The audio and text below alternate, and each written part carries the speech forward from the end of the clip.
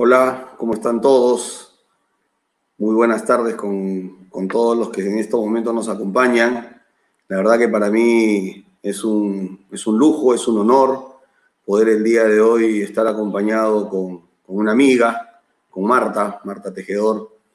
Pero antes de la misma quiero, quiero saludar a, a este segundo día del Congreso Internacional de Fútbol a los que nos acompañan en estos momentos y a los que se van a ir agregando en el camino del inicio de la charla.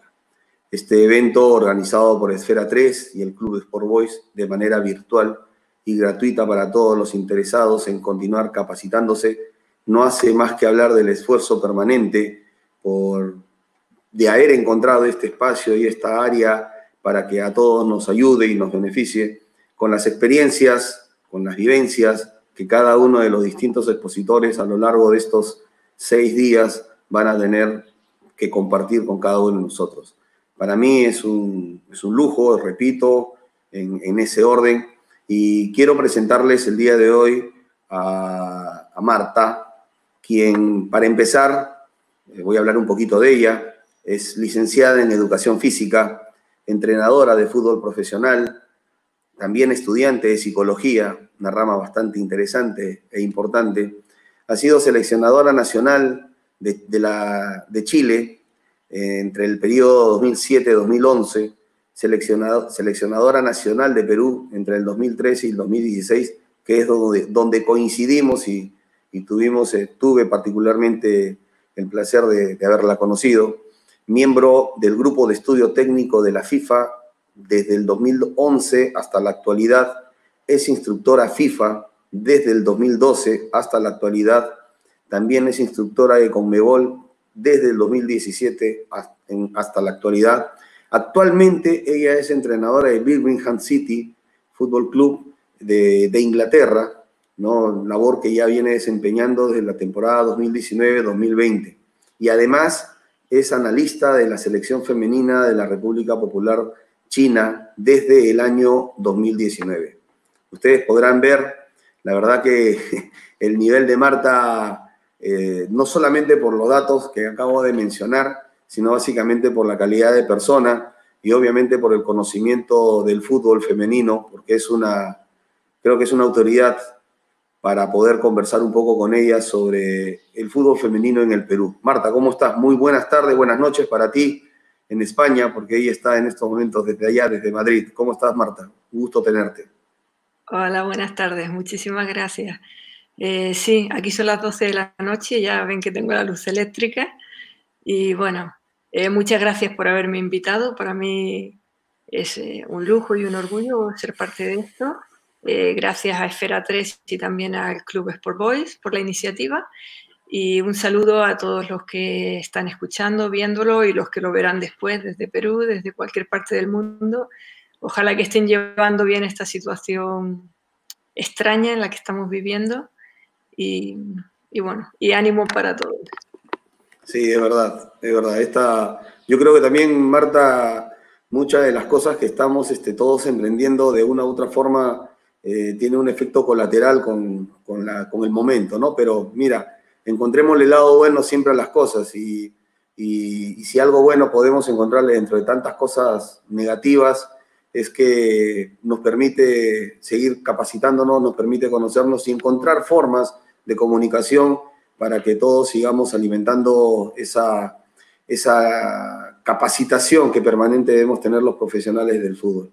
Marta, eh, te llamé hace unas semanas atrás te conté un poco de la historia de, de, de este tipo de eventos que veníamos, que intentamos desarrollar y, tratamos de ir dándole vuelta a qué podíamos conversar o qué podíamos hablar y coincidimos que lo mejor era comentar un poco tu experiencia en el Perú, ¿no? Y, sobre eso es lo que hoy vamos a conversar desde el ojo de Marta, que es cómo está, cómo lo encontraste, cómo está y qué, qué, qué ves en, en razón de lo que tiene el fútbol femenino en el país?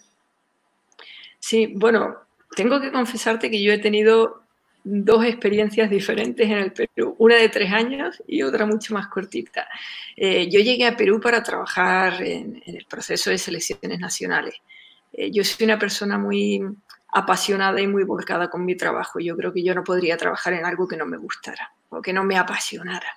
Entonces llegué allí con toda mi pasión, con toda mi fuerza, con toda mi energía. Y durante los tres años que estuve, puesto que yo trabajaba en la versión alto rendimiento, siempre sentí un poco de frustración de que ese alto rendimiento no se materializara en, en triunfos, ¿no? en, en éxito. Entonces siempre tenía un poco esa, sí, como esa sensación de un poco de frustración de por qué esto no sale, por qué no me, no me está resultando lo que en otros lugares sí me había resultado, por ejemplo. Entonces terminaron los tres años de Perú, yo me volví para Madrid, terminé mi contrato y tenía esa insatisfacción o esa como pequeña herida ¿no? en relación a Perú. Al año siguiente me llamó Conmebol para hacer un curso de instructores, no me dijo dónde, me dijo, oye, un curso de instructores en septiembre, tal, vale, vale, sí. Cuando ya lo tenemos medio organizado, le dije, oye, ¿dónde es? Y me dijeron, en Lima. Y fue como, Lima. Le, le dije, no sé si estoy preparada para volver a Lima. Pero bueno, volví, fue en 2017.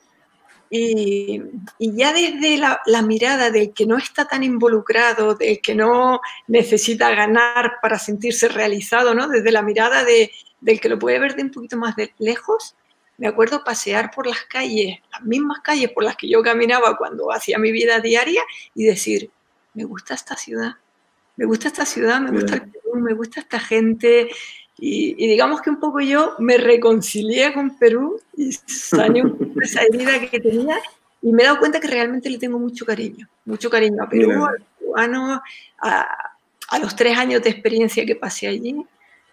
He necesitado un poquito de terapia. yo creo que Lima, Lima bueno, la verdad, el, el Perú cautivo, la verdad, este, yo estudié fuera del país, eh, hice la primera parte, pero eh, capaz uno diría, ¿y por qué no sé que te quedaste por allá? Porque la verdad, Lima, el país te apasiona, de verdad. Y yo creo que podemos hacer muchísimas cosas en aras de que, de que todo el deporte, en todo el contexto eh, que, que, se desarrolla, eh, pueda tender a crecer. Creo que eso es fundamental. Y, y, decías algo muy cierto, cuando uno empieza algo, tienes que tener apasionamiento, tienes que vivir apasionado de lo que haces, porque es la única forma de que te exijas a ti mismo y exijas a quien está al frente al frente tuyo. ¿no? no tomar el trabajo a la ligera, no tomar el trabajo como que ya no importa, lo voy a hacer, porque si no, no tiene, no tiene forma. O sea, o te apasionas o te apasionas. Es, no, y más en este tipo de trabajo, porque en otro tipo de trabajo a lo mejor puede ser un funcionario plano, monótono, pero en un trabajo como este, si no tienes pasión, mejor te retiras. Tal cual, totalmente de acuerdo. Marta, vamos. Ahí has preparado, creo, algunas presentaciones, algunas imágenes. Vamos a ir con nuestro Venga, pues vamos. con nuestro especialista en, diseño. Con José, a ver por dónde empezamos. A ver. Pásame un par de ellas, José, porfa. Otra más.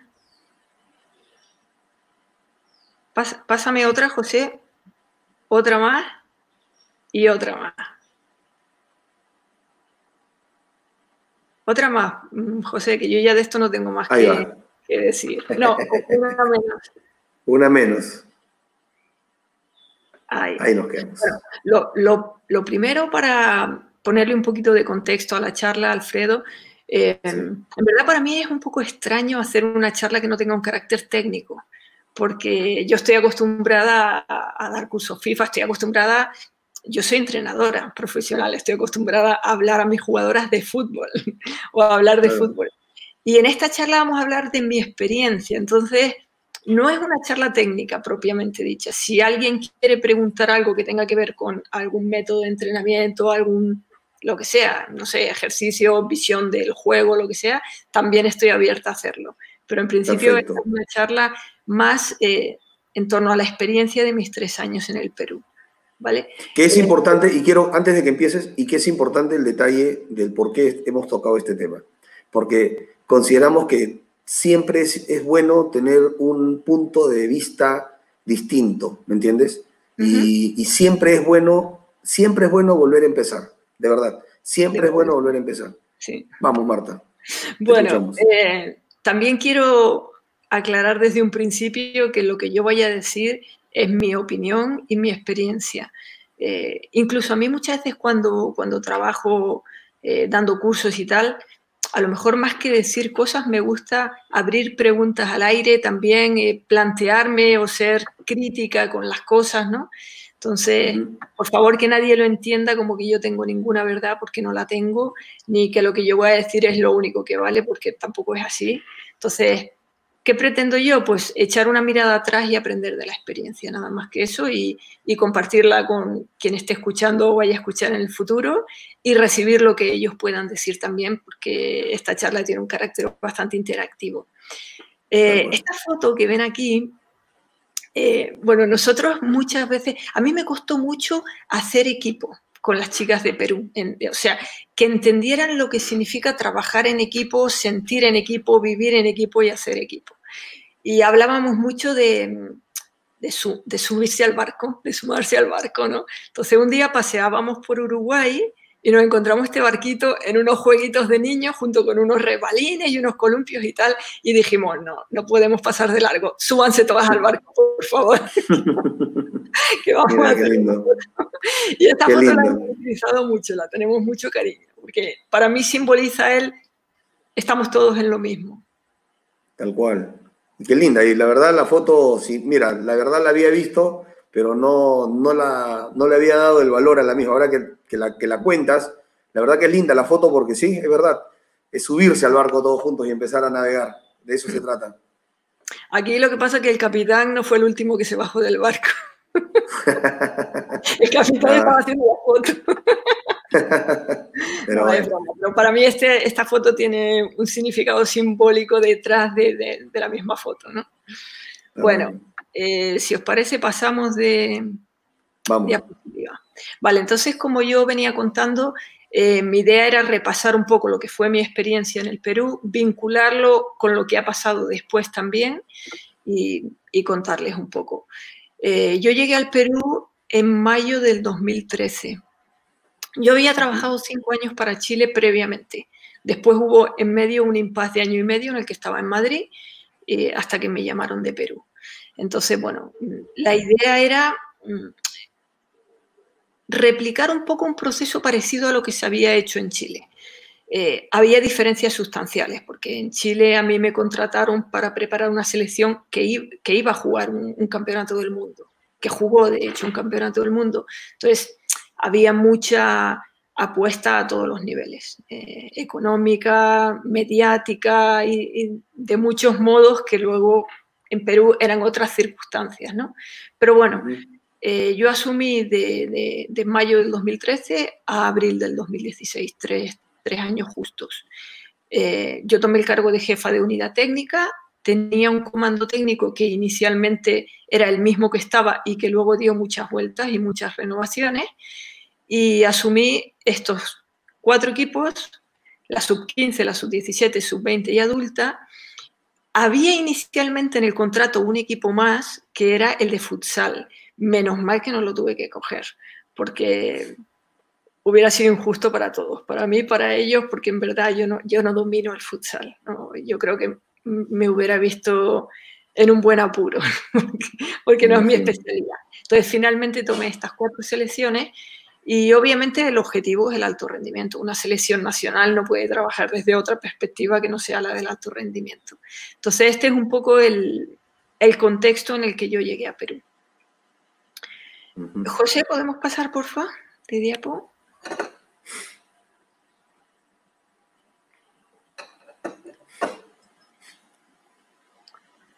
Bueno, eh, hubo muchas cosas interesantes, hubo muchas cosas buenas, por supuesto, que no se pueden obviar. Em, yo siempre tiendo a mirar lo que se puede mejorar, ¿no? Ya no van a gloriarme demasiado con lo que ya está bien hecho, pero no quiero que se interprete como excesivamente crítico tampoco, ¿no? Em, yo he destacado aquí algunas de las cosillas em, que yo encontraba como dificultades en aquel momento. Bueno, una de ellas era dificultad para encontrar profesionales especializados y cualificados en fútbol femenino y en los diferentes roles. Por eso que dimos muchas vueltas con el, con el comando técnico. Entre, entre ellos nunca tuvimos un especialista en psicología deportiva. Y yo a lo largo de mis tres años detecté muchas necesidades de intervención desde el punto de vista de, de la psicología deportiva, y, quiero ponerle el apellido deportiva, porque no es psicología en plan de necesitamos un psicólogo, es necesitamos alguien que nos ayude a obtener mejores resultados, a rendir mejor, a ser mejores deportistas y a ser más competitivos. Eh, nunca tuvimos. Otra dificultad era que al tener un cuerpo técnico, un comando técnico que debía de atender a cuatro selecciones a la vez, eh, éramos muchísima gente a la misma vez en la cancha. Por eso he puesto esa foto donde tengo yo un micrófono. En realidad esa foto eh, no corresponde a un entrenamiento normal, corresponde a una clínica un poquito especial que hicimos, pero muchas veces daba la sensación de que necesitaba un micrófono, unos altavoces y ves que tengo gente delante, detrás. Eh, en algunas ocasiones llegamos a trabajar con 85 jugadoras simultáneamente en el mismo terreno de juego, eh, lo cual Impresionante. era demasiado. Entonces, eh, creo que una situación más conveniente hubiera sido dividir diferentes categorías con diferentes horarios y diferente atención desde el punto de vista técnico. Eh, por eso, dificultades en cuanto a los espacios, en cuanto al exceso de jugadoras. Y ahí pongo un dato que no es realmente una dificultad, pero eh, es un dato que revisando me llamó mucho la atención también. Hubo una categoría que trabajó 32 meses antes de jugar su primer campeonato oficial. O sea, hubo una categoría que se llamó Sub-15, que nosotros la reclutamos para empezar a formarla, para empezar a trabajar, que después se convirtió en Sub-17 y que compitió la última, eh, en un ciclo de dos años después de que se formó.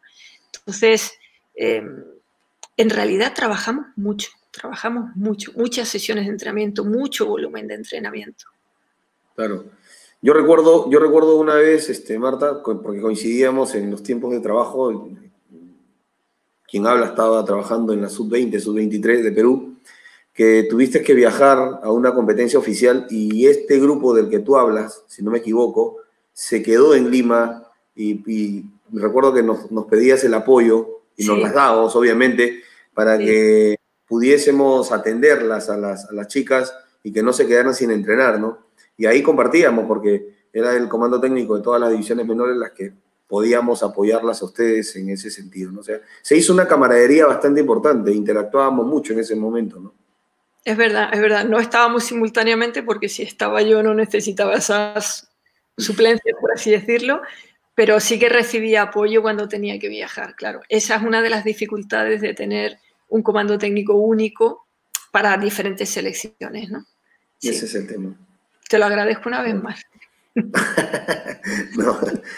pasamos a la siguiente. Pasamos, pasamos. Bueno, entonces me imagino que ustedes se estarán preguntando en todo ese tiempo qué es lo que hacíamos, ¿no? Eh, básicamente entrenamos mucho. Ahí hay un cuadro por años y por tipo de contenido, digamos. Entrenamos muchas sesiones de entrenamiento eh, partidos de ámbito local, yo llamo los partidos que juegas con clubes locales o con muchas, muchos equipos de niños, sub 13, sub 14, sub 15, eh, muchas veces equipos de niños mejores que nosotros, como con la idea de que tiraran un poco de nosotros, ¿no? Eh, después jugamos algunos partidos amistosos internacionales y, algunos, y después ya los partidos oficiales. Si uno mira este cuadro, se sorprendería un poco porque en principio, una selección que está orientada al alto rendimiento no debería de entrenar tanto y jugar tan poco. Debería de eh, entrenar menos, estar un poco más equilibrado y, jugar más, porque yo creo que una de las principales dificultades que teníamos es que para, yo creo que para competir bien hay que aprender a competir. Y para aprender a competir hay que tener oportunidades de competición. Entonces, viendo este cuadro, yo creo que el trabajo quizá abusó de formación y careció de competición en algún sentido. ¿no? Eh, bueno, yo ahí una reflexión, eh, bajo mi punto de vista, eh, el número de partidos preparatorios para una competición debería de más o menos triplicar los partidos que se va a competir. Si yo voy a competir a un torneo que va a tener cuatro partidos, ojalá juego 12 preparatorios a lo largo del año, por ejemplo. Y bueno, nosotros eh, jugamos 12 preparatorios en tres años, cuatro categorías diferentes, cuando por porcentaje deberían de haber sido unos 70, más o menos. Entonces, estuvimos muy decantados hacia hacia la formación. Es verdad que jugar implica también una inversión económica de viajes, de traer rivales, que no siempre es posible. Eh, bueno, pero, pero es la reflexión que yo hago. Quizás se entrenó demasiado y se preparó menos la competición. ¿Y, y, sabes por qué fue eso? En ese momento. Eh, a ver, en parte es porque el nivel del grupo requería mucho entrenamiento. O sea, digamos que había una carencia en formación que requería mucha inversión en formación, ¿no? Mucho, eh, mucho desarrollo físico, mucha cultura táctica, eh, mucho trabajo de campo, por una parte. Y por otra parte, no siempre pudimos competir todo lo que quisimos por términos económicos o organizativos o, o de otras índoles. Ok, ok, ok, ok. Se entiende. Lo que sigue. Vale, vale. No me voy a detener mucho en esta diapositiva ni en la siguiente porque son muy largas. Simplemente destacar que mm, dos de las facetas que cuidamos mucho fue la captación de jugadoras. Hicimos muchísimo trabajo de ir a buscar jugadoras por Lima, fuera de Lima, en los CAR, en las provincias. Yo me acuerdo que yo dedicaba como dos horas al día en comunicarme con todos los CAR del país, que creo que eran nueve, eh, que tenían chicas eh, para ver cómo están, qué están haciendo, qué resultados han tenido, les mandaba pruebas para compararlas con las que yo tenía en Lima, eh, bueno, con los papás de las chicas que vivían en Estados Unidos. Entonces, me parece muy importante en el fútbol femenino tener siempre las puertas abiertas. Incluso en el fútbol femenino te puede pasar que una jugadora, un papá, te llama a la puerta, me gustaría probarme y resulta ser una crack. Y no puedes decir de antemano no, ¿no? Porque es muy típico en el fútbol femenino, como, como digamos que el nivel de desarrollo y formación todavía no es tan alto, puedes tener niñas que se han formado en la calle jugando con chicos tal y pueden ser mejores que las que las que sigan un proceso como más académico, ¿no? Entonces, nosotros siempre tenemos que tener las puertas abiertas. Esto es impensable en la sección masculina, por ejemplo. Que venga un papá a decir, oye, que mi chico de 25 años se quiere probar con usted, señor Careca. No, no, no, encaja, no encaja con... Pero en femenino sí, entonces hicimos muchísimo trabajo de captación, de estar abiertos a recibir, de comunicación, de crear redes, crear lazos y de ir a buscar jugadoras por el país. Yo soy una... Esto, esto que estás mencionando este, también te, pasó en Chile, o sea, el hecho de que te, o sea, ¿hablas del fútbol femenino en general o específicamente porque te pasó acá en el Perú?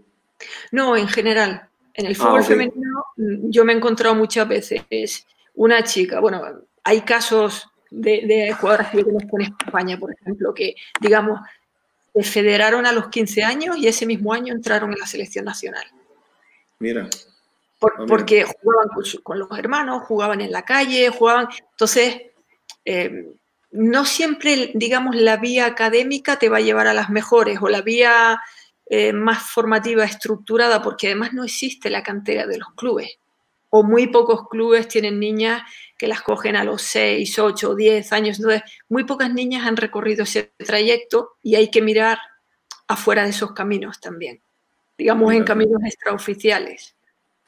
Qué interesante aporte, porque la verdad no, no, lo, tenía, no lo tenía mapeado, te soy honesto. Qué buen aporte. bueno, la, la siguiente diapo, que tampoco vamos a entrar en todos los puntos específicamente, pero otro de los temas donde pusimos mucho hincapié fue en la evaluación. Yo creo firmemente en la evaluación, creo que la evaluación te da el conocimiento que necesitas para eh, reacomodar los planes, digamos, ¿no? Porque uno tiene unos planes, empieza el camino y dice, ¿cómo voy? ¿Vamos bien o no vamos bien? Miro mi mapa. Eso es lo que hago cuando miro mi GPS o miro mi mapa. Entonces aquí es un poco igual. Eh, cada cierto tiempo vamos a evaluar para ver si vamos bien. Si nos estamos quedando cortos, vamos a poner un poco más. Si nos estamos pasando, vamos a bajar un poquito. O si estamos descuidando cosas. Y además yo creo que es muy importante que esa información la tenga quien evalúa y quien es evaluado también. O sea, la jugadora tiene que saber y si la jugadora ha hecho un importante esfuerzo, por ejemplo, a nivel de biotipo para perder algo de porcentaje de grasa, hay que felicitarla, tiene que saber que eso está funcionando, tiene que saber que va por el buen camino y si es que no, rectificar.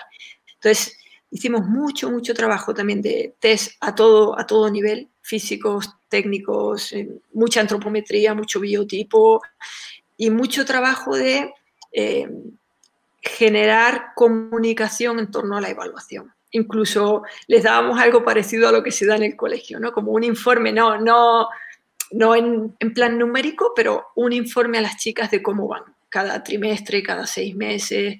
Eh, eso me parece también muy importante y nos, consumió mucho trabajo y mucha energía ese aspecto. Claro, pero un detalle, esto es porque encuentras cierta sensibilidad más en la, niña, en la, joven, eh, femenina, por este tipo de información, o porque consideras que en todo ámbito, tanto masculino como femenino, deberían tener claro estos progresos. Te digo por el, tipo de trabajo que desarrollabas, ¿no? A ver, yo creo que todo el que aprende, todo el que está inmerso en un proceso de aprendizaje, irá mejor si tiene feedback, si tiene información sobre cómo vamos, ¿no? Claro, claro. Eh, eso es importante y es motivante y, es, y, es, eh, y puedes redireccionar, porque si estamos haciendo mal y seguimos, y seguimos haciéndolo mal porque no sabemos que lo estamos haciendo mal, iremos mal y después peor.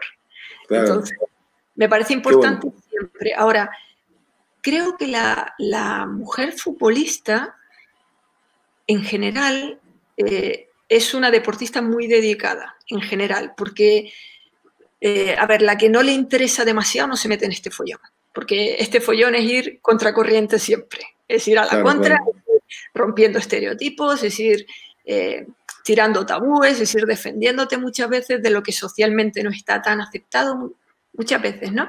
Entonces, la que está aquí le importa y quiere. Entonces, si a la que le importa y quiere le ayudas con información, la vas a canalizar mejor.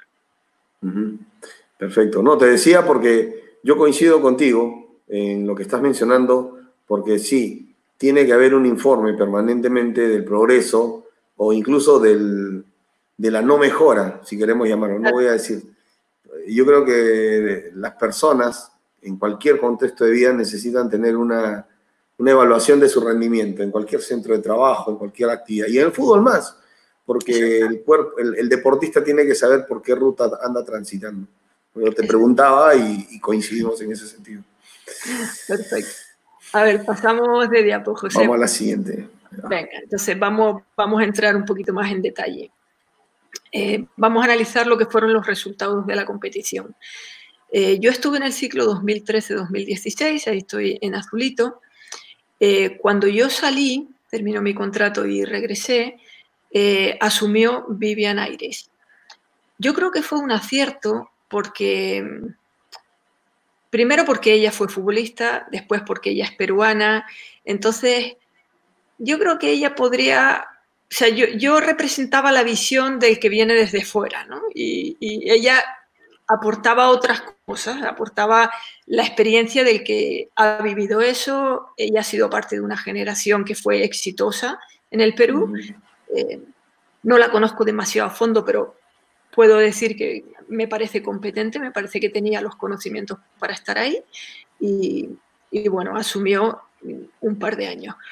Por algún motivo, eh, en un momento dado le sustituyó Italo Manso. Eh, coincidí con él en la Copa América, yo fui, yo fui con Conmebol y él estaba dirigiendo a Perú en ese momento. Eh, es otro perfil totalmente diferente que también me parece muy válido, que es el que viene del fútbol profesional masculino, por lo tanto conoce el fútbol muy a fondo, conoce la competición, conoce la exigencia, y aportaba algo que quizá no traía ni yo ni Vivian previamente, ¿no? Y después eh, se sumó también Doriva Bueno. Eh, a Doriva tuve el gusto de conocerle también en una actividad que hicimos con FIFA. Otra mirada diferente, desde otro país diferente, que no es España ni Perú.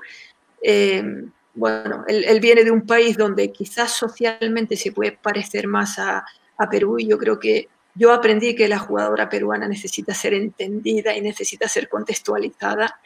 Y, y, bueno, pero también viene de un país con jugadoras muy, muy habilidosas, que también puede tener un poco el corte de lo que es la jugadora peruana, ¿no?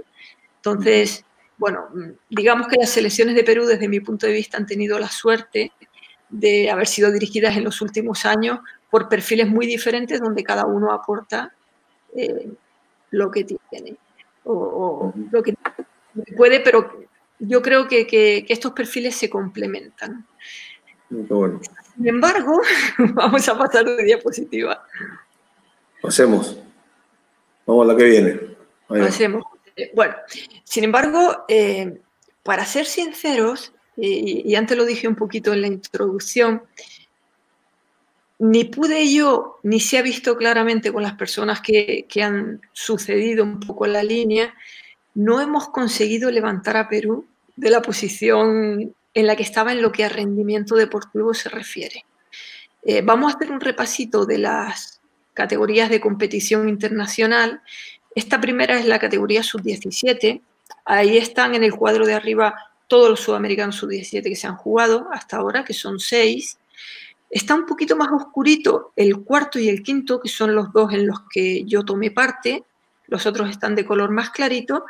Vemos que en el primero, que, se jugó en el 2008, eh, Perú fue quinto, pero a partir de ahí se ha movido entre las tres últimas posiciones siempre. Normalmente alternando con Bolivia y, después un poco, algunas veces ha sido Ecuador, otras veces han sido otros países, pero tocando las últimas posiciones.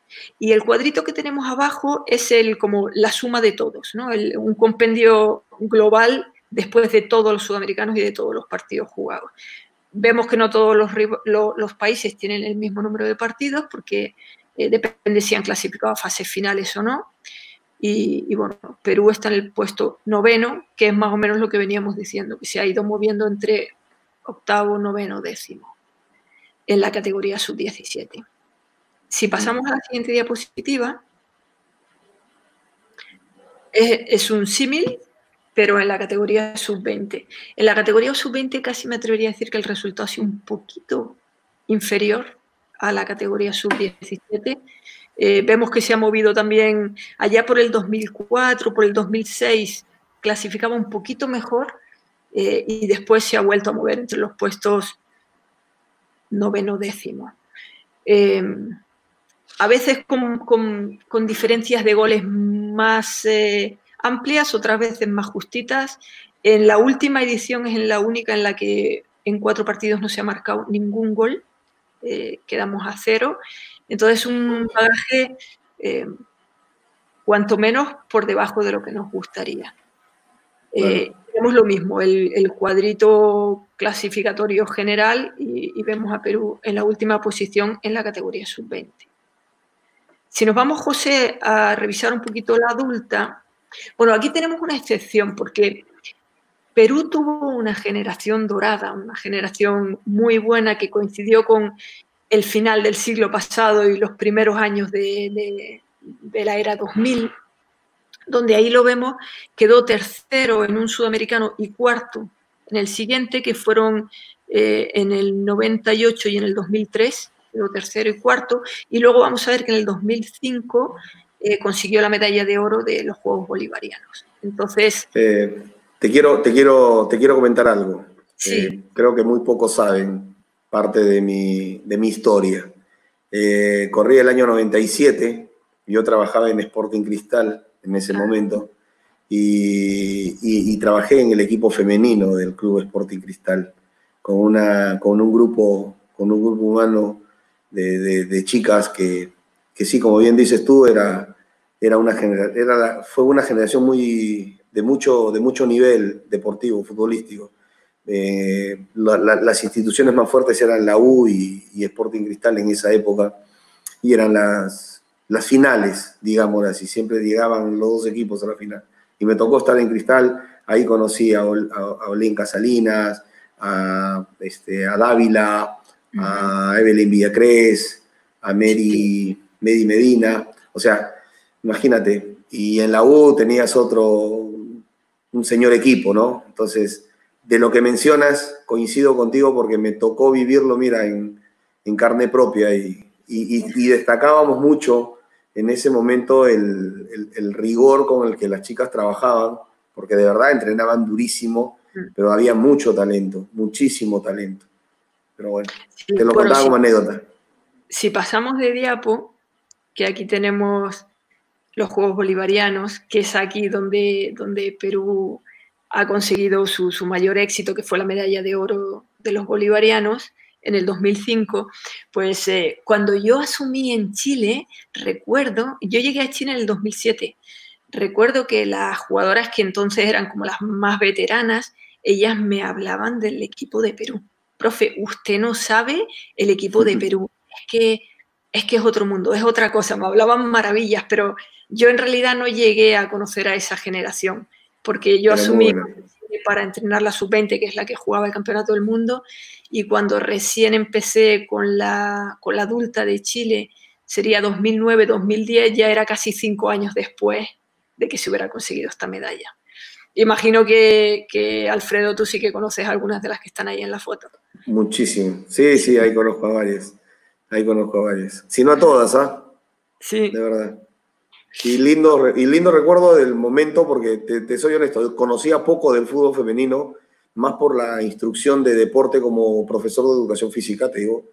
Eh, yo terminé la, la, especialidad en el 95 y en el 97 estaba trabajando en el fútbol femenino, conocía muy poco. Eh, el tema de cuando, cuando hay que, qué tipos de trabajo cuando estás menstruando, qué tipo de, de trabajos hay que hacer, eh, entender los momentos, el desarrollo de la fuerza, cómo trabajar la técnica en base a, todas las a todo el condicionamiento físico, no dejarla de lado, eh, preguntar, preguntar, preguntar para tratar de aprender. Pero lo que sí se, se, destacaba muchísimo de los partidos que uno veía era el nivel técnico, al margen de los dos equipos en todos los que participaban en la liga. La verdad que eran partidos muy, muy reñidos. Y sí, era una generación, fue una generación dorada y ahora muchas de ellas trabajando, yo las veo trabajando, eh, dirigiendo equipos, y me parece genial que estén ahí volcando esas experiencias como, como jugadoras que tuvieron, jugadoras de fútbol, ¿no? Exactamente, yo tampoco las vi jugar apenas, pero te juro que las eché de menos. ya van a aparecer, ya van a aparecer. Se están encargando ahora ellas de encontrarlas, así que ya van a aparecer. Está bien. Pasemos, José, por favor, de diapo que esta ya es, eh, bueno, es la, es la, penúltima en realidad eh, de estos datos estadísticos. Eh, estos son los Juegos Panamericanos. A los Juegos Panamericanos hay que clasificarse, no es como los, los, campeonatos sudamericanos o Copa América, que uno participa porque es parte del territorio.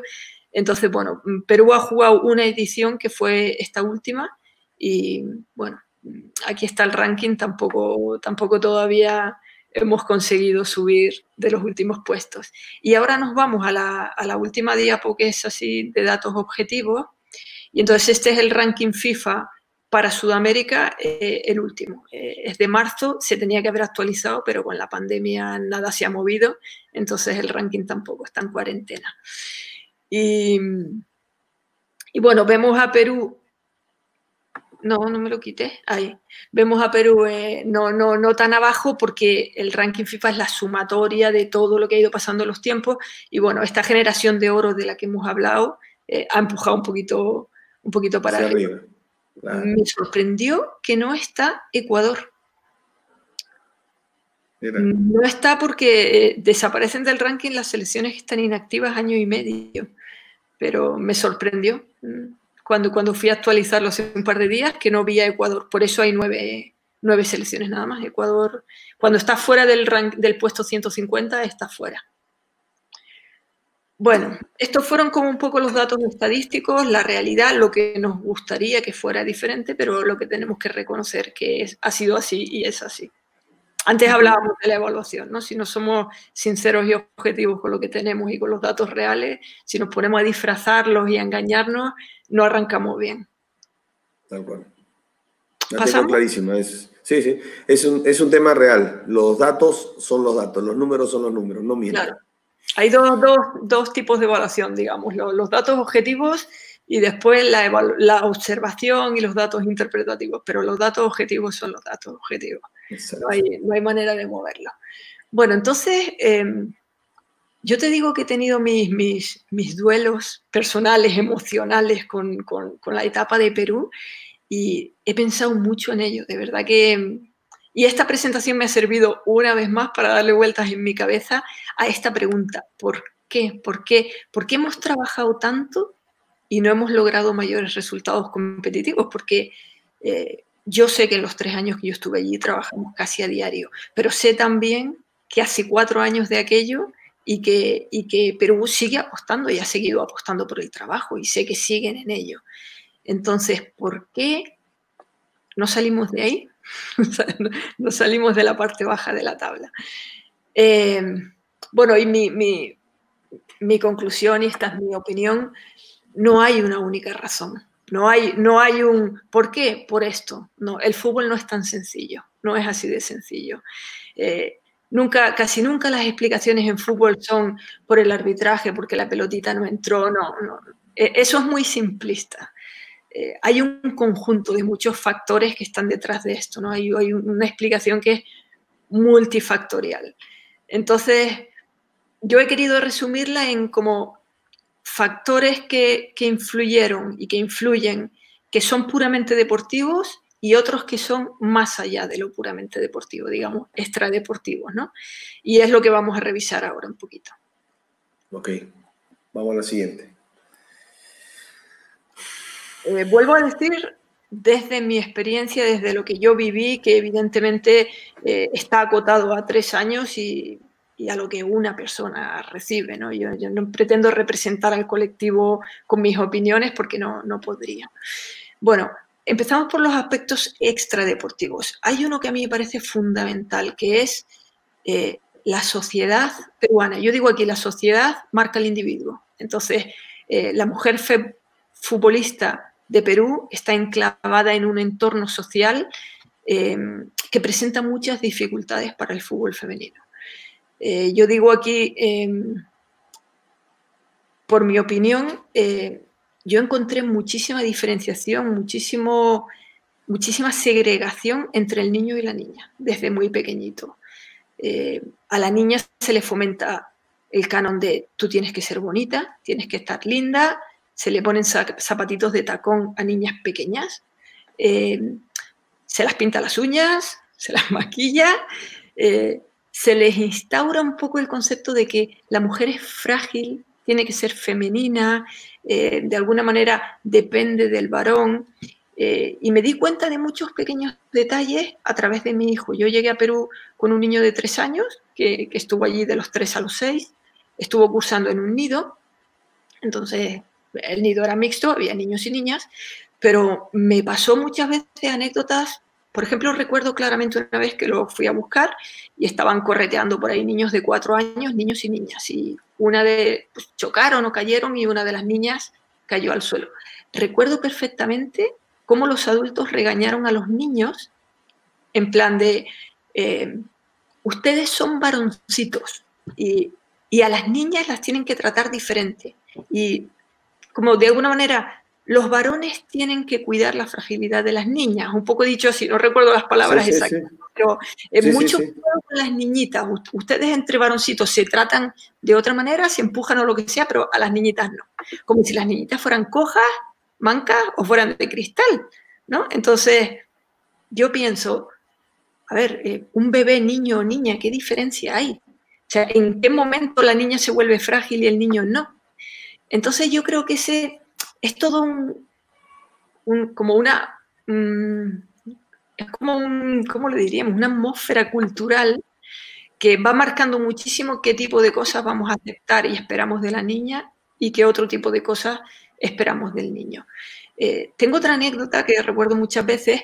Eh, estábamos un día en la playa, un día de vacaciones, y estaba con un amigo charlando y él me dijo, Marta, eh, yo no creo que la sociedad peruana sea machista. Y yo le dije, uy, yo creo que sí. entonces él me dijo, yo no me considero machista. Y entonces él tenía una niñita, poquito más pequeña que mi hijo, puede ser que en aquel momento tuviera cinco años o cuatro años la niña. Entonces le dije, ¿cuántas veces has bajado al parque con tu niña a echar unas patadas con un balón de fútbol? Y me dijo, ¿qué? No, ninguna. Le dije, bueno, si hubiera, hubiera sido niño, ¿habrías bajado ya a estas alturas? Y me dijo, sí, claro. Digo, bueno, pues estás comportándote diferente en función del género, por lo tanto, no me digas que no eres machista y tal. Me dijo, no, pero es que a mi hija no le va a gustar jugar al fútbol. Y le dije, ¿cómo lo sabes? ¿Y tú qué sabes? Ah, pregúntale. Dijo, mira. Y a los dos o tres días me mandó un WhatsApp y me dijo, bajé a jugar con mi hija y le encantó. Me dijo. Entonces, eso es lo que yo digo, machismo disfrazado, es cuando muchas veces tratamos diferente, pero no nos damos ni siquiera cuenta, porque está tan, tan instaurado en la sociedad que no nos damos cuenta de que no le estamos dando las mismas oportunidades a las niñas que a los niños. ¿no? Bueno, para mí eso marca muchísimo, porque marca muchísimo que muy pocas niñas se acerquen al fútbol, que no estén tan bien vistas, eh, que tengan que soportar que les digan de todo, por lo tanto la que no le interesa tanto, todavía no se ha enganchado tanto, se retira, porque no, no, no merece, no, merece esas vejaciones, claro. Eh, simplemente que no haya oportunidades para que sea la niña la que juzgue esto me gusta o esto no me gusta, ¿no? Parece que se las empuja todas al volei. Y, y claro, fue el, a mí me sorprendió muchísimo porque en España el volei no es un deporte considerado para chicas, es neutro, yo creo, ¿no? Como no sé, como el, o el, lo que pasa, lo que pasa, lo que pasa es que el deporte particularmente no te, no te lo señalan para un género en particular. O sea, el deporte es el deporte, ¿entiendes? Y, de acuerdo a las características, seas hombre o seas mujer, las puedes desarrollar en cualquier, en cualquier situación, en cualquier evento. O sea, eh, yo no creo que haya nacido un, deporte exclusivo de, algún sexo en particular. Entonces, perdona. Sigue, sigue, no, sigue, sigue, sigue. Yo con este tema me enciendo. No, y está bien, porque yo también defiendo, yo también defiendo las características del deporte en particular. Así como el fútbol eh, se le parametra de que tiene que ser un deporte de contacto, es el deporte varonil y todo. Bueno, está bien. Como hombre, juégalo como tengas que jugarlo, pero el fútbol es un juego. Es como que quiera separar el monopolio o como que quiera separar el ajedrez. Y después algunos dirán, no, no puedes comparar una cosa con la otra. Y yo digo, capaz lo tenga que comparar desde el concepto del juego, que tiene reglas y que quieres ganar y que quieres divertirte. Y después pasan los que, los que van hacia el lado profesional. Esa es otra historia. Esa es otra historia. El juego es el juego. Yo, yo creo que es un único deporte y digamos dos géneros, o pues si, si quieres decirlo así, entre comillas, dos clientelas. Y cada uno lo jugará un poco a su manera. ¿no? Y entonces a lo mejor la mujer no dará a lo mejor unos pases tan largos o, o, no alcanzará una velocidad de sprint determinado, sin embargo aportará otras cosas, a lo mejor más riqueza técnica o, bueno, una de las cosas que alardeamos mucho en FIFA es que en el fútbol femenino el tiempo de juego real es mucho mayor porque la mujer no juega a simular que, que, le están haciendo falta todo el rato, ¿no? Entonces el juego es más dinámico, es más fluido, pero cada uno lo juega a su manera, pero no es que uno no pueda hacerlo. Yo, yo la verdad es que no creo ni que los deportes tengan género, ni que las profesiones tengan género, eh, Exacto. No sé, ni, ni, ni, nada así, ¿no? Y, y, muchas veces pongo este ejemplo también. Eh, imagínate un rayo de luz atravesando una gota de agua, el arco iris, por ejemplo y se forman colores. ¿En qué momento se nos ocurrió pensar que unos colores son de niños y otros de niñas? Yo pienso a veces, ¿qué pensará mi perro? yo pienso a veces, por ejemplo, si yo le pongo un bol de comida de un color y de otro color, las perras hembras van al rosa y los perros machos van al azul, es absolutamente estúpido, para mi punto de vista. ¿eh? Es claro, claro, claro. ¿Cómo puede ser un color femenino o masculino? ¿Cómo puede ser una acción femenina o masculina, pues el hombre lo hará como hombre y la mujer lo hará como mujer y no somos iguales y no jugamos igual. Eh, tenemos diferencias físicas, fisiológicas, emotivas, afectivas y de todo tipo, pero hay el fútbol para las chicas y hay el fútbol para los chicos, igual que el tenis, igual que otra cosa. Bueno, que, que, apreté el botón ya de la diferencia de género y, y me, subió, me puse alcalina. Voy a seguir. estoy de acuerdo contigo. Pero estoy de acuerdo contigo en que nadie dijo nunca, salvo quienes quisieron este, marcar estereotipos distintos, pero nadie dijo nunca que una cosa era para uno y otra cosa era para otro. Son, son cosas que tenemos que sacarlas de nuestro pensamiento arcaico, eh, irracional, y empezar a trabajar en conjunto todos para que el desarrollo del deporte esté mancomunado. De eso se trata. Exacto, y tampoco son iguales, ¿eh? Tampoco pretendo decir que son. No, no, no. Cada uno con sus medidas, cada uno con sus entornos, cada uno con su intensidad y sus características, eso está clarísimo. Exactamente. Bueno, por aquí tenía también como otros aspectos extradeportivos eh, la situación económica y social de muchas de las deportistas, que muchas veces era un hándicap. Teníamos muchas veces futbolistas que venían a entrenar sin haber almorzado, eh, habiendo caminado porque no tenían dinero para la micro, no sé. No eran todas, pero algunas de verdad que su parte deportiva, digamos, venía condicionada por, por la parte extradeportiva. Em, y claro, a, las jugadoras que tienen una, una, situación socioeconómica tan baja o tan difícil, es muy difícil inculcarle una cultura del esfuerzo, porque yo pongo ahí cultura de la supervivencia versus cultura del esfuerzo. Cuando uno está en modo supervivencia, ahorra energía, no, no desborda energía. Entonces, cuando uno no ha comido, por ejemplo, eh, no puede hacer un derroche físico por poner un ejemplo, ¿no? Y, esto va también con las actitudes, o sea, en general, eh, las jugadoras que tenían unas condiciones de vida bien difíciles eran jugadoras que costaba mucho que se involucraran porque tenían otros problemas, otras cosas en la cabeza, otras demandas. Eh, yo recuerdo, mira, un ejemplo clarísimo. Había una jugadora que tenía que traer a su hermano chico para poder entrenar, porque tenía que cuidarlo, porque los padres trabajaban. Entonces, esta tenía un ojo en el balón otro en el hermano chico y una parte de su campo visual tratando de que yo no me diera cuenta de que estaba dividiendo sus puntos de mira, ¿no? Entonces, claro. había circunstancias que eran complejas, la verdad. Y ahí pongo como ejemplo la jugadora peruana criada en, Estados Unidos. La jugadora peruana criada en Estados Unidos, en general, es muy diferente.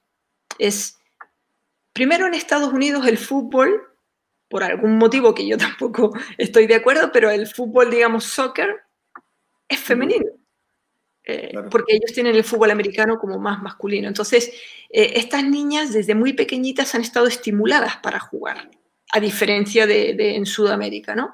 Eh, han competido desde muy pequeñas, tienen ligas en los colegios, tienen otra mentalidad. Entonces, con esto lo que quiero decir es que cuánta influencia tiene la sociedad en la que te desenvuelves en tus comportamientos, en la manera en la que entrenas, en la que juegas, eh, en la manera en la que haces equipo también. Tal cual. A me tocó, a mí me tocó la suerte de estar en los Juegos Panamericanos en Canadá, en Toronto, representando a Perú con el equipo de fútbol.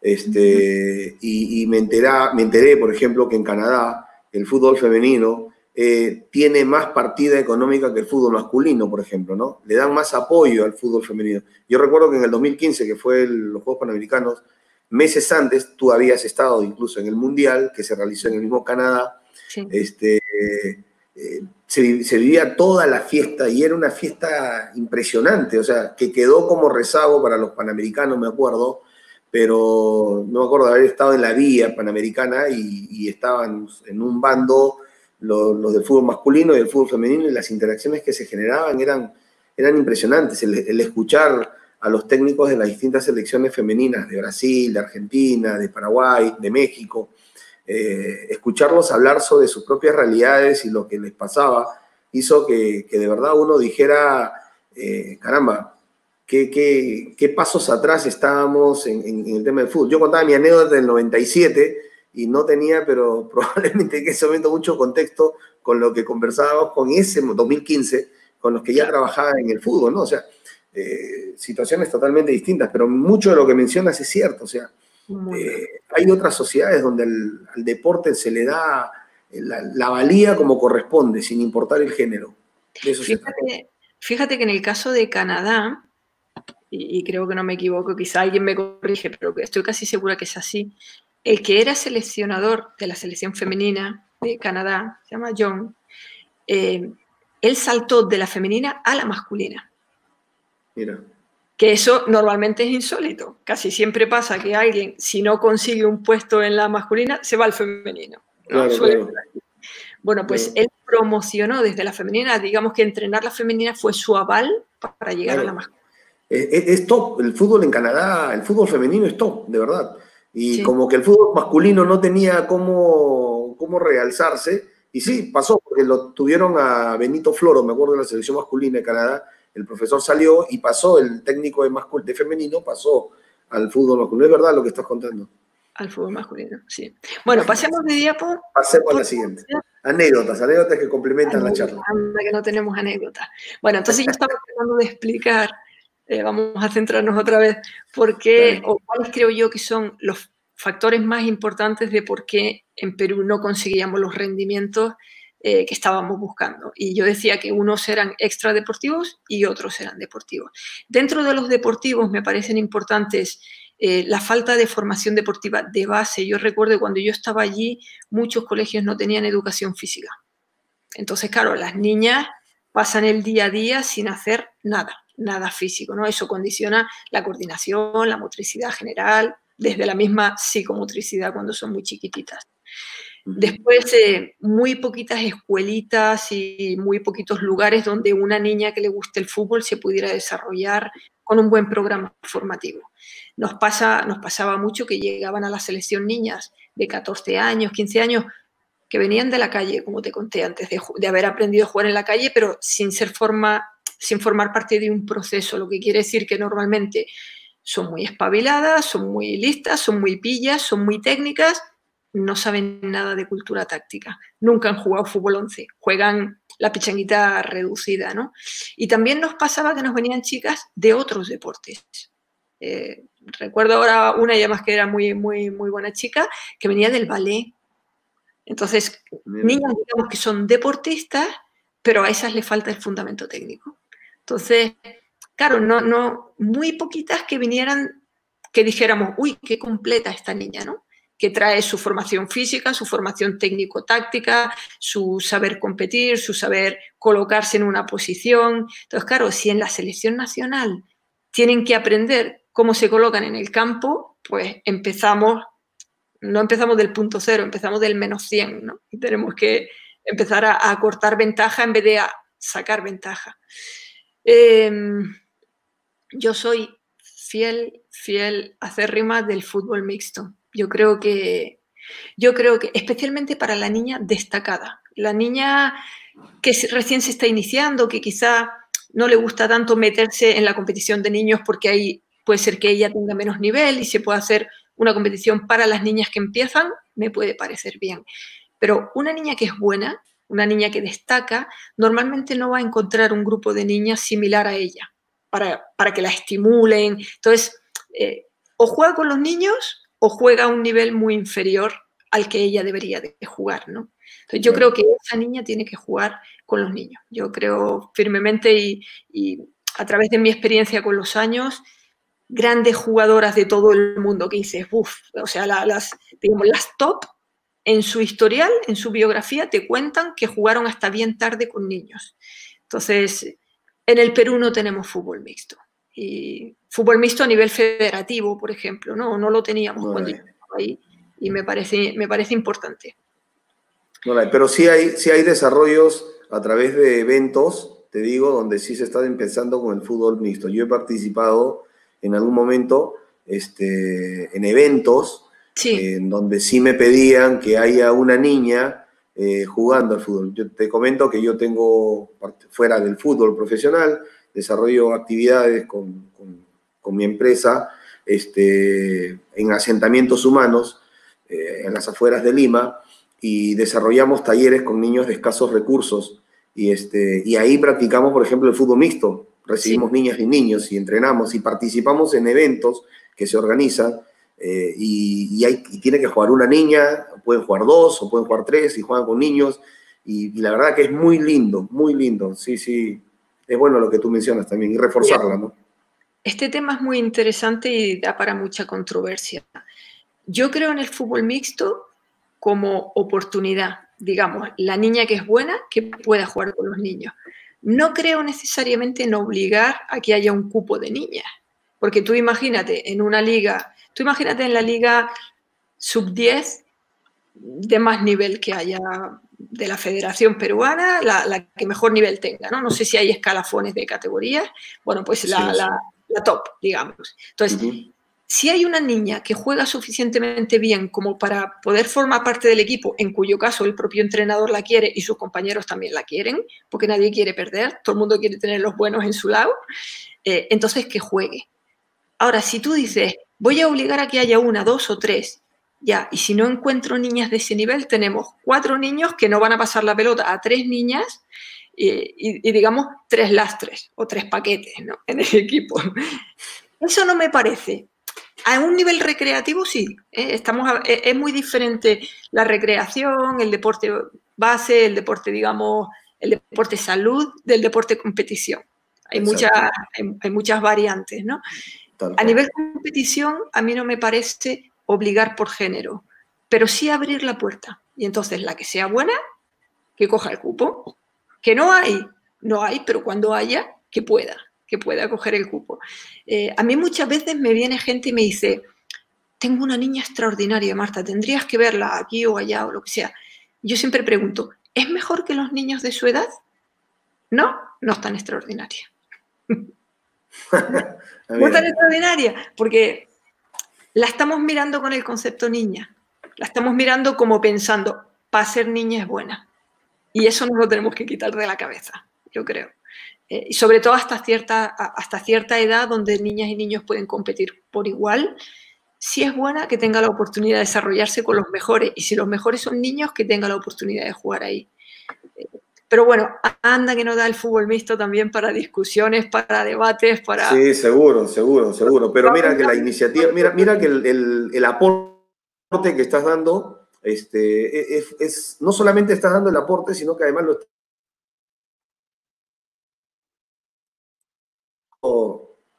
yo decía, no solamente das el aporte, sino que además lo fundamentas. Y eso es, es más enriquecedor, ¿no? Porque soltar la idea sin fundamentarla es como tirar la piedra y esconderte, y no se trata de eso. Pero bueno, habrá que defenderlo, habrá que, habrá que ser el pretexto idóneo para hablar del fútbol mixto en, alguna, en el siguiente evento contigo, Marta. Venga, ahí De todas maneras, cuando digo que yo hablo aquí desde mi casa cuando no soy yo la que tiene que organizarlo. Si tuviera que poner las normas de la competición, si yo tuviera que hacer el real decreto, ay, qué difícil sería, ¿eh? Bueno, seguimos entonces. Bueno, estábamos hablando de... No, no, pero no, no, no pasemos. Ahí estábamos. Eh, otro, otro punto que para mí fue determinante es la competición. Antes hablábamos de para para, o sea, hay que aprender a competir y, aprender a competir compitiendo. Yo creo que el, torneo interno en Perú es uno de los más débiles de Sudamérica. Tiene, tiene una, competición en Lima donde cuando yo estuve, y, no puedo decir que sea ahora porque lo desconozco, había grandísimas desigualdades. Entonces había un par de equipos que se jugaban el título y un par de equipos que se comían 10 goles por partido. Y luego de Lima al resto de las regiones, otro escalón tremendo. Entonces, ¿qué pasa? Que la jugadora jugaba dos, tres partidos competitivos al año. Y, eso es muy poco. Entonces, eh, ese para mí era otro, otro hándicap y recuerdo que en alguna ocasión aconsejé a algunas chicas salgan del Perú, salgan a jugar afuera. Sé que ahora las hay, eh, sé que está Marjorie en Colombia, sé que aquí en España está Pierina, está Sioxana, y yo les decía, vayan a buscar competiciones que les mantengan realmente compitiendo todas las jornadas, ¿no? De, una competición que a lo mejor tiene 24 jornadas o las que tenga, que sean todas competitivas. No puede ser que haya dos competitivas y el resto, ¿no? Bueno, eso no es solo digamos, responsabilidad de quien organiza, ¿no? Es, también cómo se involucran los clubes, cómo los clubes apuestan o solamente ponen el nombre y la camiseta. Había un poco de todo, ¿no? pero yo creo que la liga tenía mucho margen de mejora. Eh, tengo por aquí un par de, un par de aspectos más. Eh, pongo aquí el alto rendimiento es un estilo de vida. Claro, yo me movía en el alto rendimiento. Mi, rol era selección nacional. Las chicas estaban en amateur. Entonces, a mí algunas veces me parecía que estábamos hablando diferente idioma, ¿no? Porque cuando yo les hablaba de, eh, o sea, para mí un, deportista de alto nivel es deportista las 24 horas, no las 2-3 horas que está en cancha y en gimnasio. Veo que te ríes. Es que coincidimos. Por algo trabajábamos juntos. Por algo me dejabas a las, a las chicas para que trabajaran conmigo. es que coincido contigo, porque de verdad coincido. Y esto no es solamente ese género. El deportista es deportista siempre. Eh, te vas de vacaciones y sigues siendo deportista. Te vas a tu casa después de entrenar y sigues siendo deportista. Cuídate con los alimentos, descansa, sigue entrenando. Mira, mira fútbol, aliméntate de fútbol porque de eso vas a vivir, de eso, de eh, vas a aprender y no te limites solo al talento que tú tienes encuentra otra forma de seguir alimentando ese, esa educación. Por eso coincido contigo. Eso. Este era otro aspecto que nos marcaba muchísimo. Viene muy relacionado con el hecho de ser amateur, porque estas chicas se levantan por la mañana, van a la universidad o al colegio, comen afuera, otras trabajan. Entonces, claro, el entrenamiento invisible y me dice, pues no lo verá usted, porque yo veo bien clarito lo que hago en el día, ¿no? Entonces, no, es responsabilizar solo a la jugadora, es que se dan unas condiciones en las cuales es difícil, es muy difícil. Y, bueno, pues ahí, ahí, teníamos también grandes, grandes dificultades y desencuentros y desentendimientos. Y bueno, al final, el último punto que pongo ahí, eh, ¿cuál era el resultado para mí? Pues yo veía a la jugadora peruana como una jugadora buena para el fútbol, pero que al final no era competitiva, que es lo que necesitábamos y lo que antes hemos visto en los datos objetivos. ¿no? Eh, pasamos de diapo, porfa, estamos ya cerquita de, ir terminando. Vale, no quiero dejar la impresión de que todo eran dificultades. Eh, yo me sorprendí mucho con, con, las capacidades técnicas de la jugadora peruana y creo que la jugadora peruana y también me atrevo a decir el jugador tiene un talento natural para el juego. los peruanos son habilidosos em, y, tenemos que considerar que el fútbol es un deporte muy complejo porque se juega con los pies, porque, bueno, por, muchas cosas, porque, tiene, porque hay un rival que no te deja hacer y en otros deportes no está el rival agarrándote la mano para que no golpees con la raqueta, por ejemplo. Entonces, eh, creo que el fútbol es un deporte de patrón muy complejo si lo comparamos con otros deportes y creo que la jugadora peruana era una jugadora muy talentosa, que creo que, digamos que la materia prima es buena y muchas veces me sorprendí de, oye, qué, qué rabia me da porque qué buenas son estas chicas. Pero, pero había muchos condicionantes deportivos y extradeportivos, como hemos visto, en los cuales había que poner el foco y había que cambiar y había que seguir desarrollando. Mira, este es un puntito donde podríamos poner uno de los vídeos, si está José por ahí bien atento, el que se llama dominio de balón de Gerald, algo así se llama.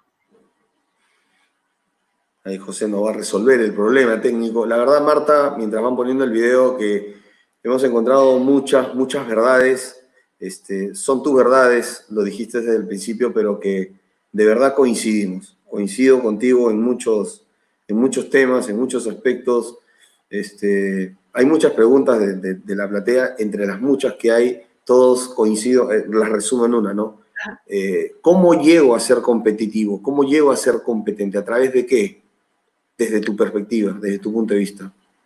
A ver, eh, en la próxima diapositiva, creo que es la última, eh, vamos a ver, ahí estamos, mira, yo empiezo siendo muy crítica conmigo misma, ¿no? Y digo, a ver, eh, si, trabajamos tanto, y yo sé que trabajé mucho, y trabajé largo, y sé que los que vinieron detrás de mí también lo hicieron, si trabajamos tanto y no nos resultó, algo nos hace pensar que deberíamos de hacer otra cosa. O yo digo, si las intervenciones llevadas a cabo de manera continuada no han producido los resultados esperados, cabría reflexionar sobre la posibilidad de que los esfuerzos no hayan sido orientados con la intensidad o en la dirección adecuada.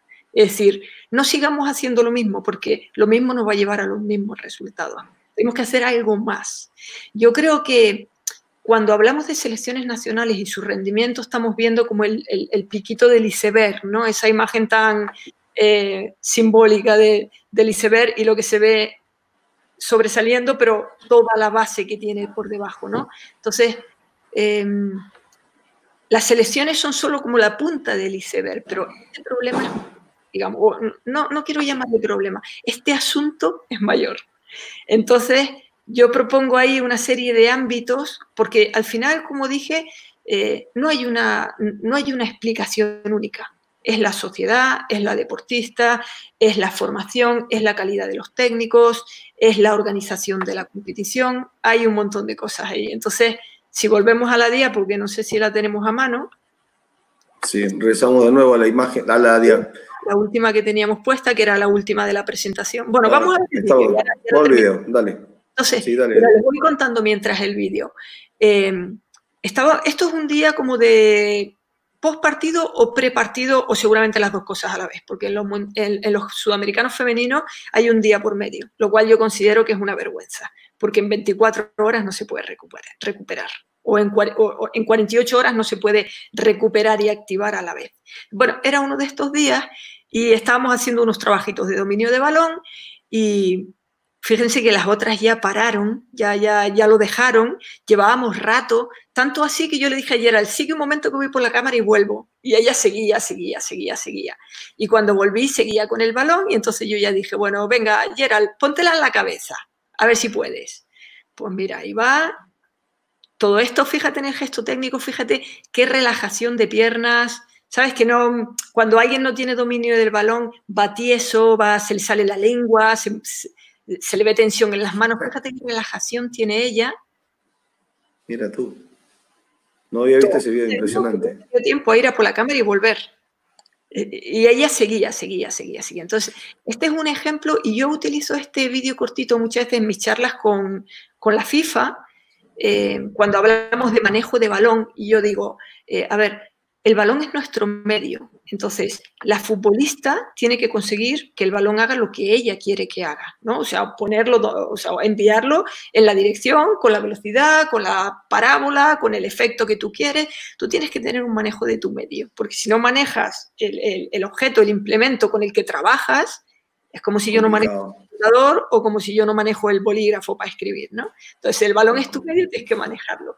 La jugadora peruana es muy buena es muy buena en el manejo de balón. Y yo pongo este vídeo de Gerald muchas veces, ya te digo, en la FIFA, y la gente me dice, no sé, en cursos que voy, el, último que fui, fui a Mozambique, por ejemplo, y la gente me dice, ¡Ah! nosotros no tenemos en el país jugadoras con este nivel de dominio del balón.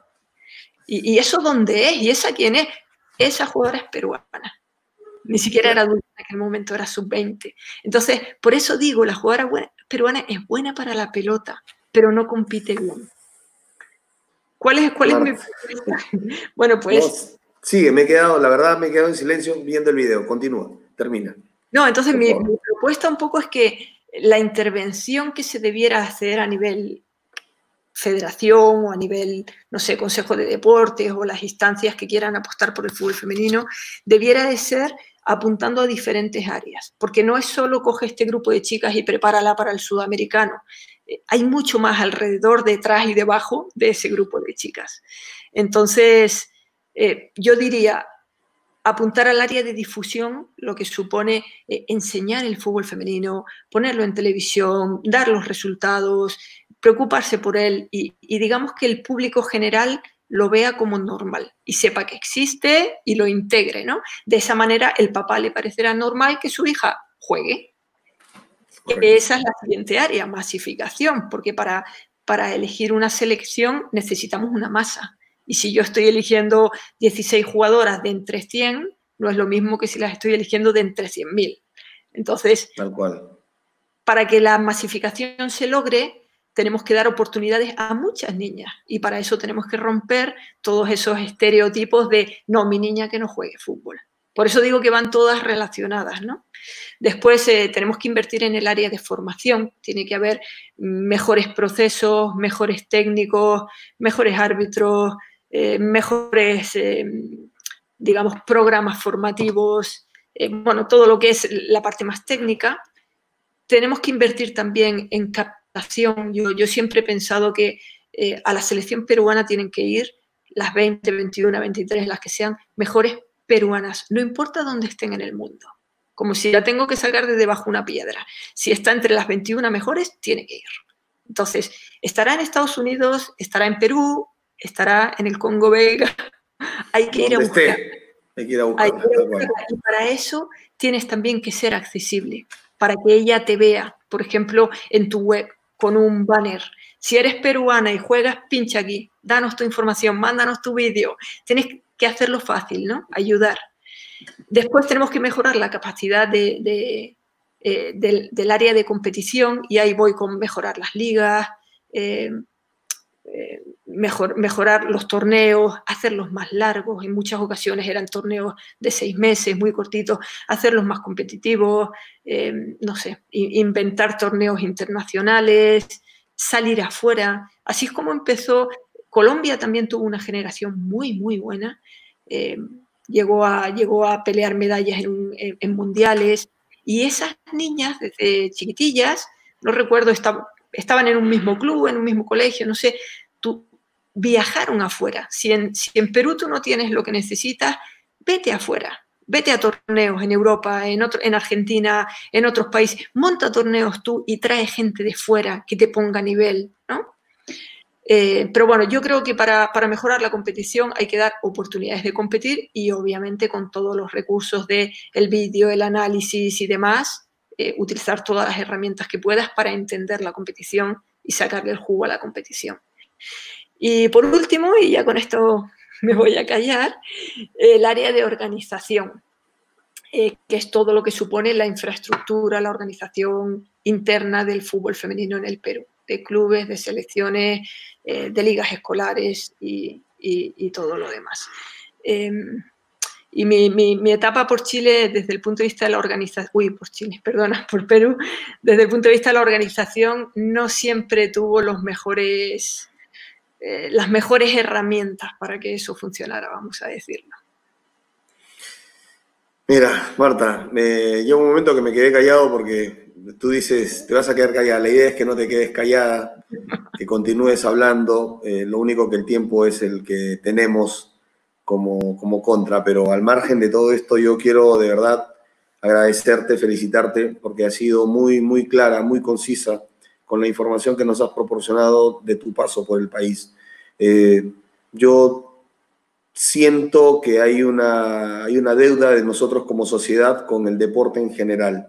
En este caso hablemos del fútbol femenino, porque debemos darle las oportunidades que tiene el fútbol masculino en todos sus estamentos, desde la plana, desde lo más alto hasta los que estamos en casa y a veces ponemos trabas para que esto se pueda desarrollar como tiene que hacerse. El juego es el juego, el deporte es el deporte, no tiene distingo de raza, ni de sexo, ni de religión. Hay que jugarlo porque te gusta, porque, porque tienes condiciones y el talento está ahí y es tarea de nosotros encontrarlo, fortalecerlo, hacerlo viable. Ahí eh, la mayoría coincide en cosas como, como que de pronto no tenemos oportunidades. Si no las hay, hay que crearlas. Hay que crear las oportunidades.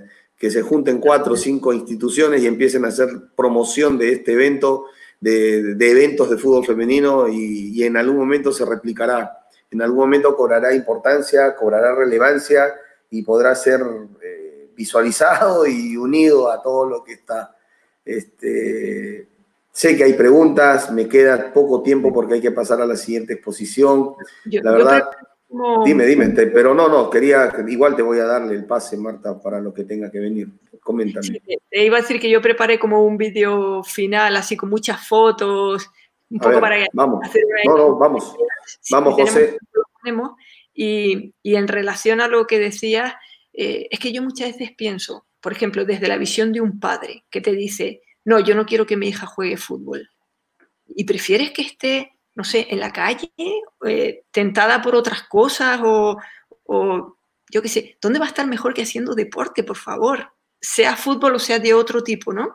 Deporte colectivo, aprenda a trabajar en equipo, cuidando su cuerpo, cuidando salud, conociendo o sea, envolviéndose de un entorno que también tiene deportistas y gente que busca el deporte, ¿no? Pero ¿dónde va a estar mejor? Por favor. Bueno, e-, ese es mi punto de vista. Sí, sí, sí, estoy de acuerdo. Este, había una mención, no sé si era porque el dato no lo habías consignado o sí, pero me decían como que en el 2005 Perú participó en un torneo que lo dirigía Lisandro Barbarán, la selección, y obtuvo el campeonato. Eh, un amigo, Enrique Mayor, sí, Enrique Mayor, por ahí está, no me acuerdo dónde estaba la, eh, mencionó el tema. Pero bueno, es, es mencionar que también en algún momento hemos tenido participaciones importantes. Eh, Lisandro es un amigo también y, ha tenido participaciones en selecciones más femeninas en algún momento, ¿no? Eh, perdón, Alfredo, que lo que yo mostré ahí eran las competiciones oficiales nada más. Perfecto. No la Copa Libertadores porque es de clubes, no es de selecciones.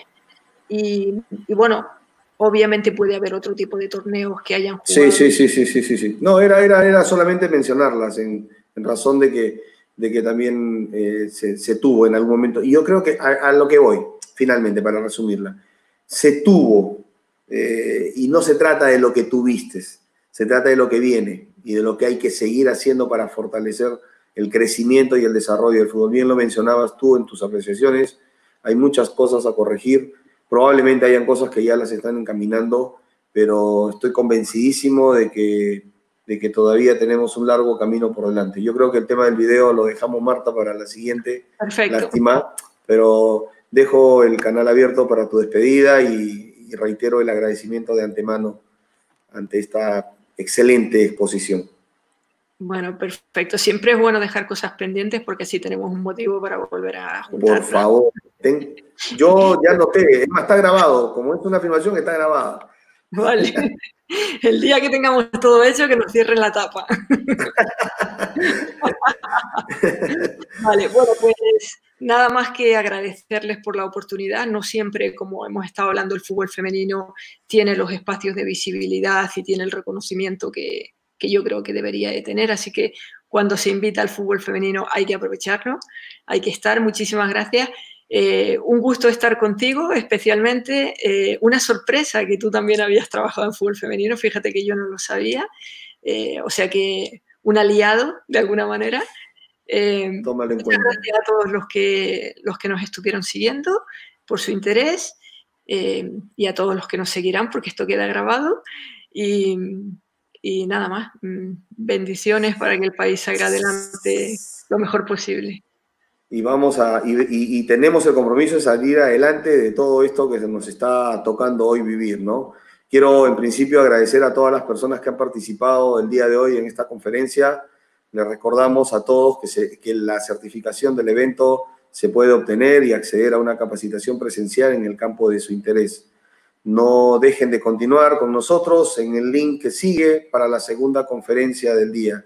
Y agradecer una vez más a Marta por el tiempo. Ya son cerca de las 2 de la mañana, si no me equivoco, en, o 1 de la mañana en Argentina, eh, perdón, en España. Y, y bueno, gracias Marta, de verdad, de verdad, muchísimas gracias. Y hasta la próxima. Un saludo para todos. Muchas gracias. Saludos a todos. Cuídense.